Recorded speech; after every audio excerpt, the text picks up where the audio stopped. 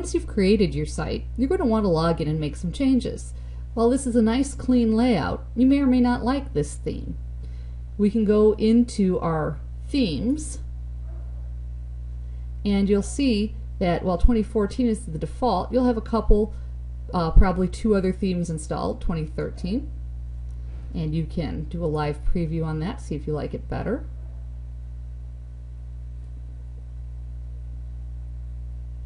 If you don't, you can go back to themes, pick one of the other ones that's there, or you can add a new theme. And so I'm going to look for a theme with a responsive layout. I want to have it accessibility ready. I want to be able to do custom colors and custom menus. So I'm going to take a quick look to find a theme.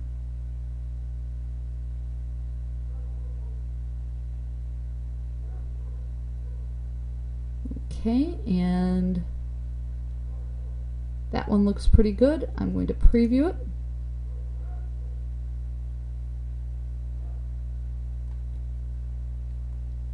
And that looks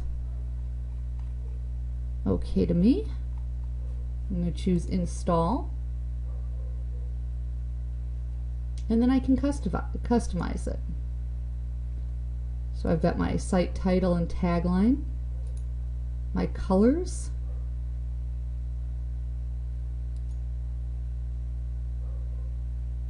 oh, let's see, I'm not in my correct theme. Got to go back to themes here because this is still 2013. I downloaded the other one, but I did not activate that.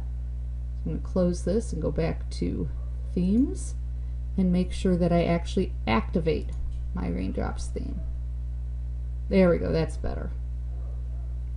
Now I can customize it. It has specific theme settings. And I'm going to leave it as fixed right now. It has a few different options on colors. I don't really like dark. There we go. That's better. Or minimal. I kind of like light. Okay, and then I can choose my base color, and I'm going to be in shades of purple.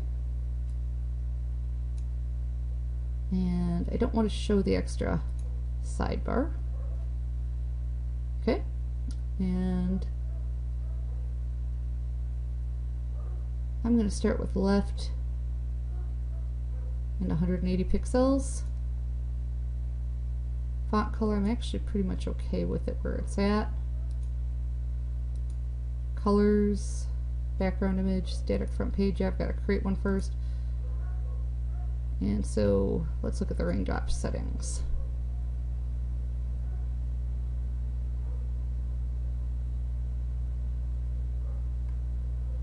So we've got all sorts of extended theme options here. Header background image, footer background, widget, title page width, custom and position, text color and content. So we can go in here and we can put lots of specifics in here. I kind of like this. This gives me all the choices that I want.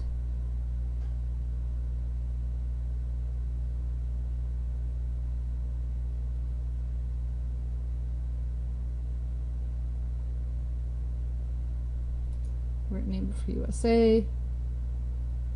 And we can go through each of these color type, light, header background image. I will put one of those in in a bit. And so this lets us go through and set each of the options.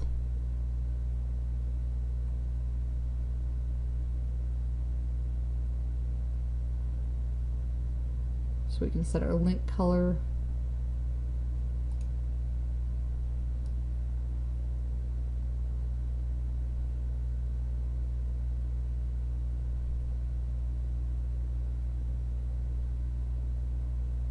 Find one you like.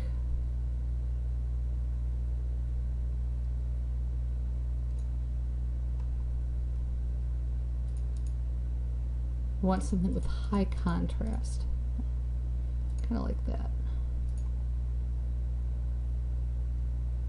Okay, it has accessibility settings. And you may or may not get these options. You have you'd have to pick the same theme to get the same options. Go.